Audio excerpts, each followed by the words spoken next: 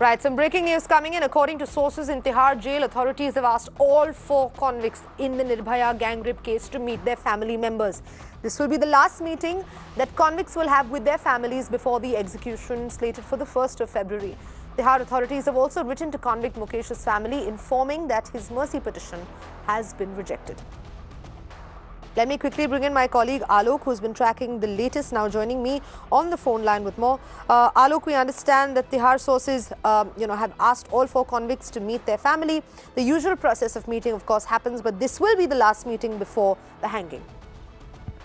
Uh, yes, absolutely. This is uh, an important development happened, and in fact, uh, Tihar jail authorities have uh, asked all four uh, Nirbhaya convicts uh, to uh, inform their family members that they can come and meet them.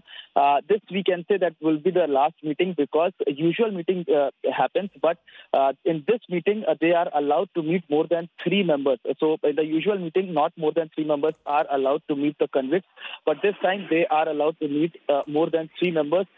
So the Tihar authorities want to make the arrangements accordingly. That is why they want uh, the people, uh, those who are coming to meet uh, with the convicts, uh, they should tell what the time and what the day they are coming so that they could make the arrangements accordingly. So this is uh, one development has happened. Uh, uh, not than apart from that, Mukesh, uh, who is uh, one of these four convicts, his family members have been informed that uh, his mercy petition has been uh, rejected by the uh, President of India. Remember, Mukesh had applied for the mercy petition.